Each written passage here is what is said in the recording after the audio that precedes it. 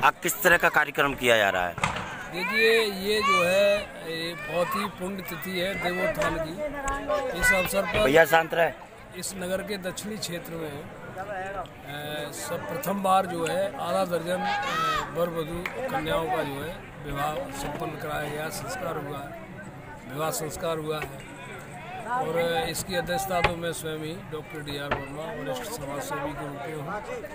बाकी इस कार्यक्रम की चीफ गेस्ट के रूप में महापौर सुश्री नूतन राठौर जी यहाँ आई थी, उन्होंने उद्घाटन भी किया था। और इसके साथ ही हमारी ये जो है, लाडली बिहार समारोह समिति पंजीकृत संस्था है।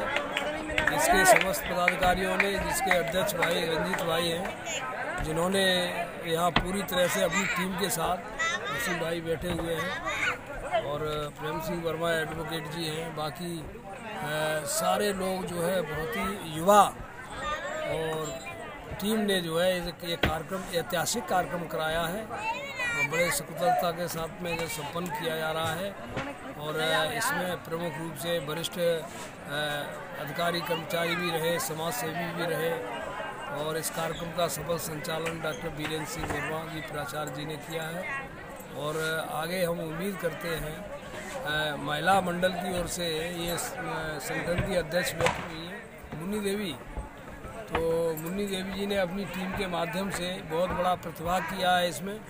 और शुरू से ही इन्होंने जो है एक बीड़ा उठाया है समाज सेवा के क्षेत्र में कि जो लोग हैं उनको जागरूक करो और जो राजकीय कार्यक्रम है, उनके लिए जागरूकता के प्रति आस्था रखते हुए इस कार्यक्रम में इन्होंने शिरकत की है और सहयोग किया है। और मैं कार्यक्रम का अध्यक्ष होने के नाते मैं सभी को बार बार जो है बधाई और धन्यवाद ज्ञापित करता हूँ, आभार व्यक्त करता हूँ। और कि जो है आगे आने वाले समय में हर साल इसी तरह से और बड़े बड़े स्तर पर ये कार्यक्रम संपन्न क्या यह आपकी समिति द्वारा पहली बार कार्यक्रम किया जा रहा है? जी जी प्रथम बार कार्यक्रम हुआ है। क्या आगे भी ऐसी कार्यक्रम आपकी समिति द्वारा कराए जाएँगे? जी जी इससे भी और बड़े स्तर पर बड़े पैमाने पर